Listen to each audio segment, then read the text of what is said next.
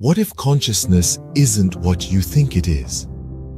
Let's delve into this intriguing mystery. Consciousness, in its most basic sense, refers to our awareness, our perception of the world, and our place within it. It's an enigma, a riddle wrapped in a mystery inside an enigma. It's not something we do, but rather something we become. We each have privileged access to our own consciousness, a unique perspective that no one else can truly share or fully comprehend.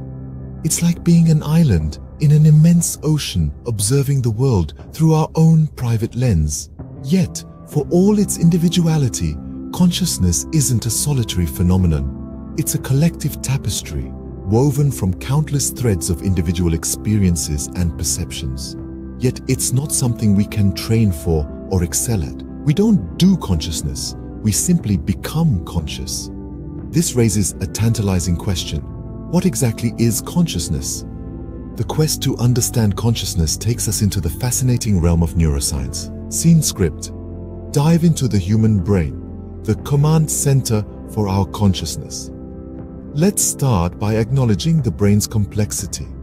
It's a vast network of neurons, with different areas contributing to different facets of our conscious experience. Clinical observations have shown us that some parts of the brain, like various sections of the cerebral cortex, are indispensable for consciousness. These areas contribute to different modalities and submodalities of consciousness, allowing us to perceive, process, and respond to the world around us. In contrast, some regions, despite housing more neurons, do not appear to play a significant role in consciousness. Take the cerebellum, for instance. It's densely packed with neurons, yet it doesn't contribute to consciousness in the same way the cerebral cortex does. But the brain's role in consciousness doesn't stop at its structure. How it functions is equally critical. Consider this.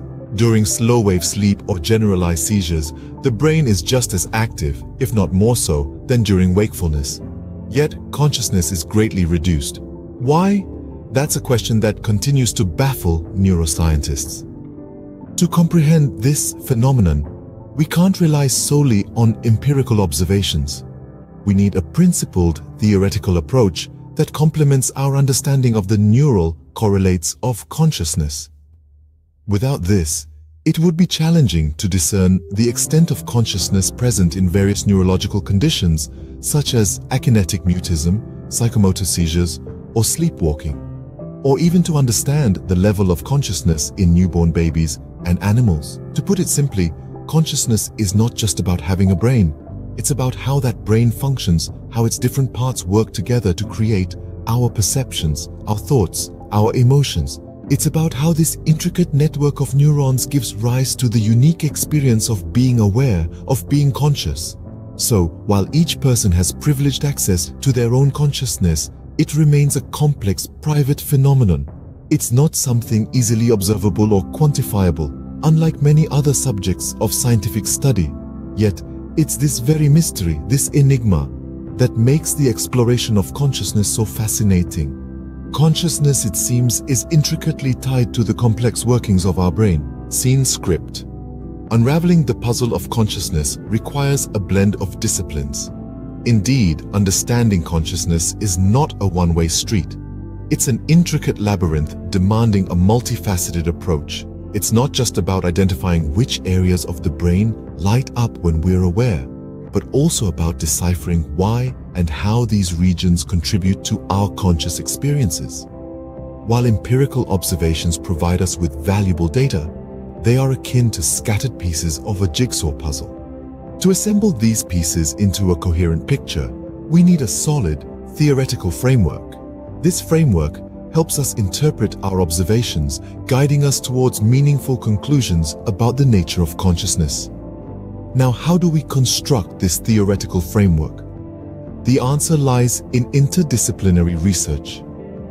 Firstly, neuroscience offers a wealth of knowledge about the brain's structure and functions. It helps us understand the biological basis of consciousness, the neural activities underpinning our thoughts, feelings, and perceptions. Philosophy of the mind, on the other hand, encourages us to ponder the abstract concepts related to consciousness. It nudges us to question the very nature of awareness, perception, and selfhood. It's a discipline that brings depth to our understanding by asking the why and how of consciousness.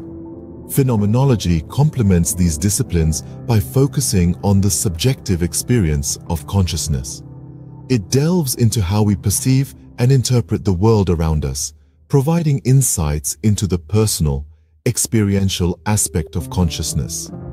Meanwhile, psychology adds another layer of complexity, exploring how consciousness influences our behavior, emotions, and social interactions.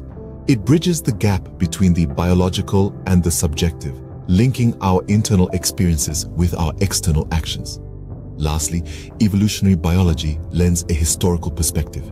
It traces the origins of consciousness, shedding light on how and why it might have evolved over time. By integrating these diverse disciplines, we can construct a comprehensive theory about the nature of consciousness. This theory can help us better understand not just ourselves, but also the world we inhabit. As we continue to explore, the enigma of consciousness promises to keep us on the edge of discovery, reminding us of the limitless potential of the human mind.